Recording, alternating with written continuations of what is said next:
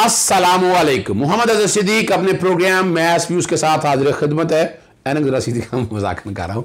आठ मार्च दो हज़ार बाईस, ब्रोज मंगल, शाम सात बजे आप ये प्रोग्राम देख रहे हो। तो थोड़ा बहुत आगे पीछे प्रोग्राम हो जाता है, लेकिन वो ज़रा मैं माजरत ही चाहता हूँ। मैं कोशिश तो करता हूँ कि टाइमली चीज़ें सारी आ जाए। इसलिए आज कोशिश करूँगा कि बैकग्राउंड पर चीज़ें चलें, पर ज़रा कम चलें।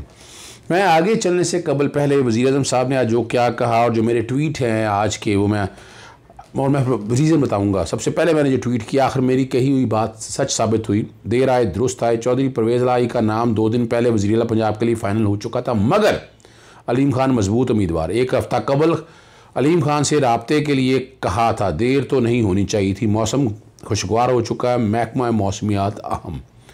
फिर वो गरीदा फ़रूकी ने एक बात की वो वज़ी अजम के ख़िलाफ़ तहरीक अदम तैयार हो गई और वो जो बातें सारी, मैंने कहा तरीके अदम का मतलब क्या ज़रा बता दो तो बीबी। आइन पाकिस्तान इलेक्शन एक्ट के तहत क्या एक नाहल की हैसियत क्या है? आवाम को ज़रूर बताइएगा। मौसम खुशगवार हो चुका है। महकमा मौसमियात हमेशा अहम होता है। वजी अजम इमरान को हटाने के लिए अमरीका और उसके हवारी ज़ोर लगा रहे हैं। मगर याद रखें, पाकिस्तान पूरी दुनिया में अहम तरीन हो चुका है। अपोजिशन ने सैनट में यूरोपियन यूनियन के हक में करारदार ला के इसका एक और सबूत भी दे दिया। कहाँ गए तोहन रसालत पर पहरा देने वाले। और, फिर मैंने बता दिया आपको, वजी अजम जनाब इमरान खान साहब के ख़िलाफ़ आइन के आर्टिकल पचानवे के तहत बीस फ़ीसद अरकान असम्बली ने तहरीक अदम अतमाद सेक्रेटरी नेशनल असम्बली के पास जमा करा दी। और फिर आगे मैंने तजवीज़ भी दे दिया कि मौजूदा सियासी बुरान का हल क्या है। नया वज़ीर अला चौधरी परवेज़ लाई या जहांगीर तरीन अबलीग अलीम खान ग्रुप। वफाक में डिप्टी वजी अजम सीनियर वज़ीर, अपोजिशन से शामिल होने वाले नए वज़ीर। इतिहादियों में से एम क्यू एम बाप और दीगर को मजीद वजारतें, मुआशी मामला को हल के लिए मुस्बत लाया अमल। कौमी असम्बली इस वक्त सेशन में नहीं है। ये समन करने की रेकोजिशन दे दी है। एक छोटा सा सफ़ा चला रहा हूँ आपको। आप आइन के आर्टिकल चौवन के तहत है। पंद्रह दिन के अंदर अंदर ये इजलास बुलाना होता है और उन्होंने बता दिया कि इजलास भी हम इसलिए बुला रहे हैं कि हमने वोट फॉर नो कॉन्फिडेंस के हवाले से करना है और साथ ये भी बता दिया है कि साथ नया वज़ी अजम भी मंतखब करना है। ठीक है जी आर्टिकल 91 और राइट रूल 32 के हवाले से वो ज़िक्र कर रहे हैं कि किस तरह ज़िक्र होना है। और मेंबर ऑफ़ नेशनल असम्बली जो इजलास रेकोजिशन करने के हवाले से वो चल रहा है। इस तरह तरीके अदम अतमाद के हवाले से भी बात कर दी है। मैं बार बार आपको बता चुका हूँ, पहले इजलास आना है, इजलास बुलाया जाएगा और उसके बाद तहरीक अदम अतमाद के लिए कम अज़ कम तीन दिन और ज़्यादा सात दिन के अंदर जो है ना ये तहरीक अदम अतमाद सामने हाउस के रखी जाएगी। आर्टिकल 95 अब चला नहीं रहा आप लोग को बार बार दे रही हैं जो कि टाइम कम है मेरे पास वो भी आप ज़रा समझ आइएगा फिर रूल मैंने 36, 37, 38 और सेकंड शेड्यूल का भी मैंने ज़िक्र कर दिया और मैंने बता भी दिया था ये ओपन बैलेट से होना है। एक तरफ़ से मेंबर आएँगे, शक्लें हम देखेंगे और दूसरी तरफ़ से वो चले जाएँगे और इसमें अगर पीटीआई के लोग टूटे होंगे, जो बिके होंगे, वो सामने आ जाएगा। और चूँकि इमरान खान साहब ये बात कर चुके हैं, अभी तक इलेक्शन कमीशन ने कोई एक्शन नहीं लिया। इलेक्शन कमीशन को इन चीज़ों को सामने रखते हुए, और वो विजन ने अपनी तकरीर में भी कहा है, उसको एक तरफ़ रखते हैं। लेकिन इलेक्शन कमीशन को फौरी तौर पर, चूँकि हॉर्स ट्रेडिंग की बात हो रही है तो इलेक्शन कमीशन कहाँ बैठा हुआ है? कहाँ सोया हुआ है? उसको जागना है। लेकिन लेकिन इलेक्शन कमीशन जागा नहीं हुआ। ये बड़ी एक तकलीफ़ दे बात है। देखते हैं कि इलेक्शन कमीशन मामले को सीरियसली कैसे टेकअप करता है।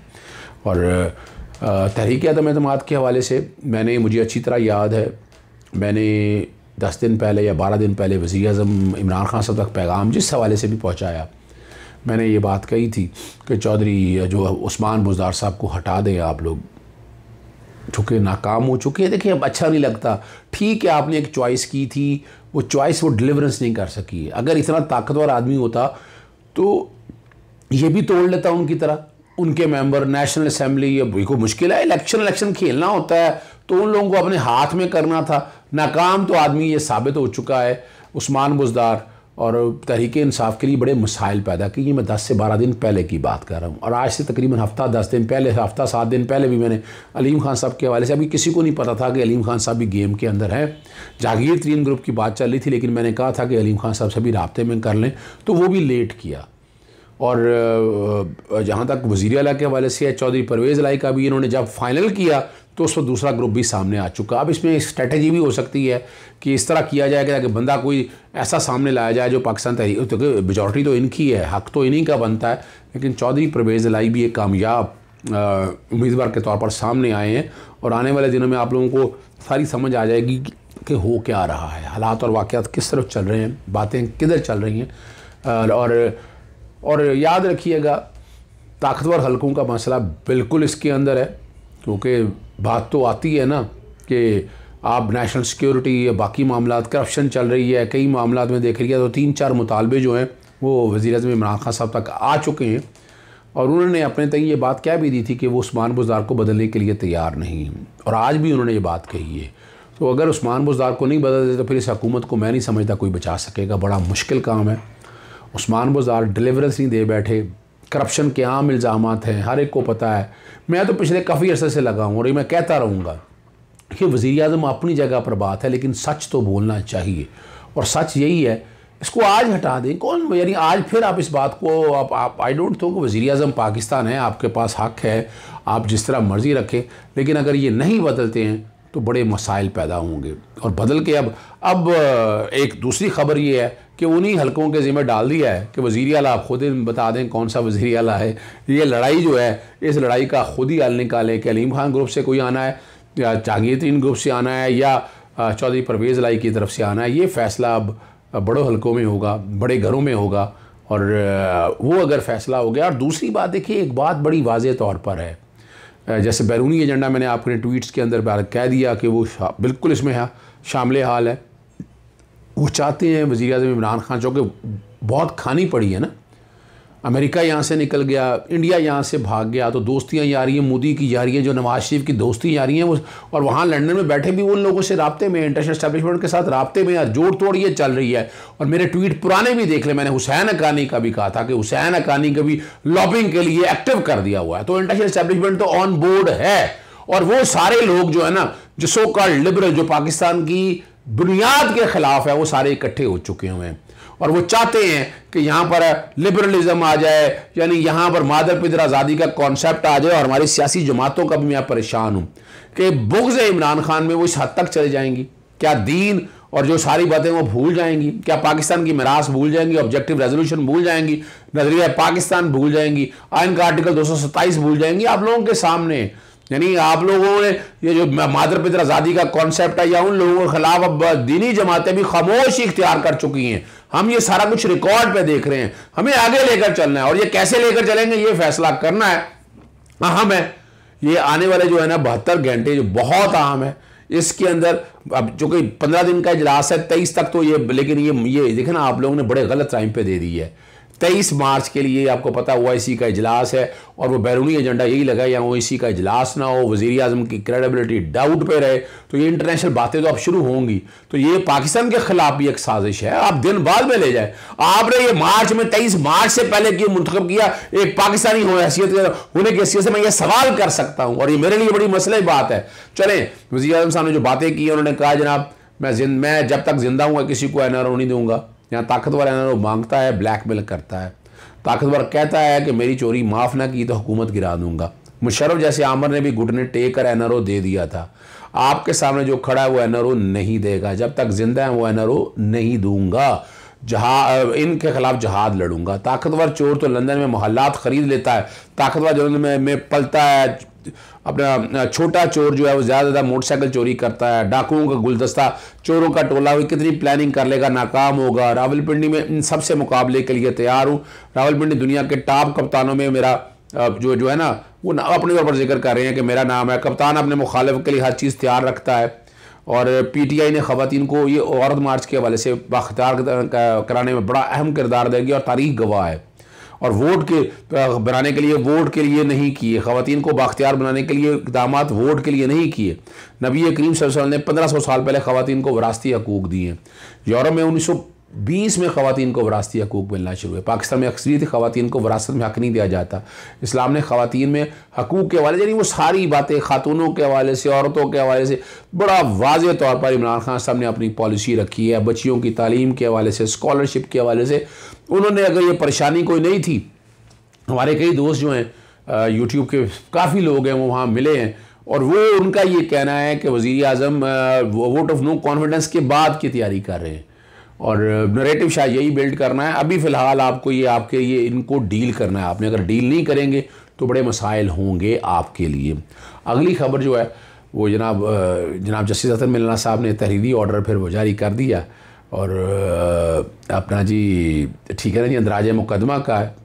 और उन्होंने शोएब शाहीन साहब जो हैं, सदर जो है ना इस्लामाबाद हाईकोर्ट बार एसोसिएशन है, उन्होंने कहा, बलोचिस्तान से ताल्लुक़ रखने तलबा की जानब से लगाए कैम्प का दौरा किया। और वो बताते हैं, उन्होंने महसूस किया यानी ऐसे ही बात कर दी शोएब शाहीन साहब आपने, कि वक़ा की तरफ़ से नज़रअंदाज करने के अलावा उन्हें निगरानी और नस्ली प्रोफा, अब ये ये बातें अच्छा नहीं लगता। इनाम अल्लाह खान, सेक्रटरी वजारत हकूक ने कहा कि मुकामी इंतज़ामिया से रिपोर्ट तलब की गई है, क्योंकि पहली नज़र में ताकत का इस्तेमाल हद से ज़्यादा था हुक्नामे में। यानी इन्होंने फैसला भी ये कर लिया और ये कह रहे हैं क्वैश भी होनी चाहिए। यानी ये स्टेट के मामला में जनाब हाईकोर्ट मुदाखलत है ये। ये जुडिशल ओवर रीच का इशू है। ये एक्टिविज्म नहीं है ये। और Aamir Ali chief commissioner I G S N Younus inspector general police भी पेश हुए।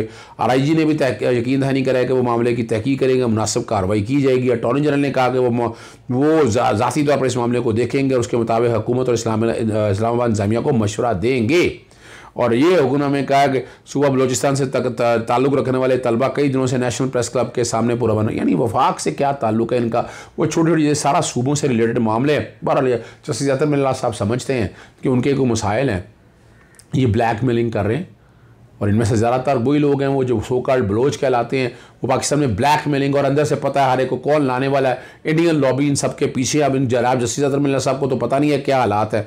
अदालत को बताया जाए उनका कायम करदा कैम्प वाकई हुकूमत की तवज्जो बलोचिस्तान से एक तालब इलम की मुबैना तौर पर जबरी गुमशदगी की तरफ़ मबजूल कराने की कोशिश थी। इससे इनकार नहीं किया गया कि उदय ये देख रहे ये सारी बात है। कोई एफ़ आई आर से के मदरजा से ये होता है। वो इसमें कोई शक नहीं है, बलूचिस्तान में तेल मदनियात, ये सारी बातें हैं, लेकिन जो चीज़ें मैं वो कहना चाहता हूँ, और एक सौ चवालीस के नफाज का जो है ना, ताकत का गलत इस्तेमाल किया ये उनका कहना है। मैं इस फैसले से बिल्कुल मुतफिक नहीं हूँ, जितनी बातें की हैं इरेलीवेंट है इस फैसले के अंदर, और आप बगैर इंक्वायरी और इन्वेस्टिगेशन किए कैसे कर रहे हैं? आप ट्रायल कोर्ट तो नहीं है हाई कोर्ट लेकिन आप ट्रायल कोर्ट करता आप आप ये सारा मामला रख रहे हैं और फिर छोड़ रहे हैं। ये अदालत तो करती है कि वज़ीर अजम और वफाकी हुकूमत बलोचिस्तान से ताल्लुक़ रखने वाले तलबा तक पहुँच कर उनकी शिकायत सुनेगी। उन्होंने कौन सी शिकायत तहरीर तौर पर दी है? हमें बता दें, हम दे देते हैं तहरीर तौर पर। हम हम कोशिश करते हैं उन पर ये सिर्फ़ हंगामे शंगामे करके मसाइल नहीं हो रहे, उनका एजेंडा कुछ और है। ठीक है ना जी? और अदालत ने फिर वही गिरफ़्तार लोगों को हरासा या गिरफ़्तार करने से रोक दिया और इक्कीस मार्च तक समात मुलतवी यानी एफ़ आई आर को बिल्कुल एक तरफ़ रख दिया। प्रोग्राम ख़त्म करने से पहले सुप्रीम कोर्ट ने मनाल रेस्टोरेंट डी सल डी सील करने का हुक्म दे दिया। मैंने पहले भी बताया था कि हाई कोर्ट का फैसला ये भी जो है ना, अपने जुरिस्डिक्शन से एक्सीड करना था। और जस्टिस इजाजुल एहसन ने पूछा कि इस्लामाबाद हाई कोर्ट ने रेस्टोरेंट सील करने का दस्तखत हुक्मनामा जारी किया? और बताया जी, बिल्कुल ना कापी दस्तियाब है, ना फैसला दस्तियाब है।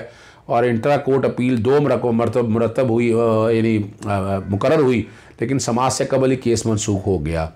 और अदालत ने सवाल किया तहरी अदालती हुक्म से पहले रेस्टोरेंट कैसे सील किया? वाइल्ड लाइफ बोर्ड फ्री ही नहीं था, फिर सील करने में फुर्ते क्यों दिखाई? इसमें वो लोग शामिल हैं, जो इनका मकसद कुछ है। मार्गला हिल्स पर आज तक कितने रेस्टोरेंट सील किए गए? और अदालत ने वो जो है ना चेयरपर्सन वाइल्ड लाइफ जो है ना बोर्ड अना अहमद की सर्जिश की बार बार मुदाखलत से रोस्टर पर हटा दिया। और जब जब असूली तौर पर हुक्म ही नहीं है, ज़ुबानी हुक्म की हैसियत ही कोई नहीं है, और कोई हुक्मनामा जारी ही नहीं किया, और बगैर नोटिस के मजिस्ट्रेट ने सील कर दिया। जब मुलार रेस्टोरेंट के साथ मौजूद दूसरे रेस्टोरेंट को सील करने से कबल नोटिस दिया गया, वो जवाब आप लोगों के सामने ये चीज़ें वो सोचने वाली है, जो हमारी अदालत को सोचना है। हमारी ख़ास तौर पर इस्लामाबाद हाई कोर्ट के सारे मामले में देखना है। औरत मार्च वालों का रवैया तो आप लोगों के सामने वाजे आ चुका है। उनका एजेंडा भी वाजे है। कोई पॉजिटिव चीज़ सामने नहीं ला सके, मैं ज़्यादा गुफ्तु नहीं करना चाहता, लेकिन आपको बताना ज़रूर है। और एक ट्वीट जो किया मरियम ने बोल न्यूज़ वो मैं बैक चाहूँगा बैकग्राउंड पे चल जाए। और साथ ही जो वीडियो पे जो उन्होंने कहा, वो वीडियो शेयर की, ज़रा वो सुन लीजिएगा, प्रोग्राम ख़त्म होने से पहले। देखिए आप ये करते हैं। अच्छा आप मुझे बस ये बता दें बोल अलाउड क्यों नहीं है? बोल इसलिए अलाउड नहीं है कि बोल हमेशा फेक न्यूज़ चलाता है। बोल हमेशा गलत फेब्रिकेटेड चीज़ें चलाता है स्मार्ट के हवाले से।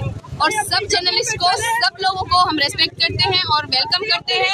देखिए बोल में काम करने वाले भी बोल में काम करने वाले भी जर्नलिस्ट हैं नॉन जर्नलिस्ट लोग नहीं है। और हम लोगों इदारे की पॉलिसी होगी। अब मैं जर्नलिस्ट का नहीं कह रही मैं इदारों को कह रही हूँ ठीक है? और हम हम कह रहे हैं कि ना हमने आज को रोका है ये इनके लिए हमारे लिए। आप सब मोहतरम है बहुत ज़्यादा इज़्ज़त है आप आए कोई मसला नहीं है जो गया है उनको भी बुला ले। हमने सिर्फ़ बोल को कहा है और ये हमारा हक है कि उन्होंने हमारे खिलाफ ब्लास्फेमी चार्जेस की। झूठी जो है वो रिपोर्ट चलाई है। आप समझती हैं कितनी खतरनाक चीज़ है?